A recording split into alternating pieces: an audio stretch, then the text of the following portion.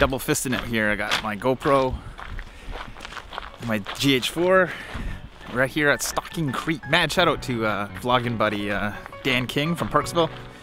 He came out here last week, I think, or one of his last vlogs. Took his family out, and I forgot how cool it was out here.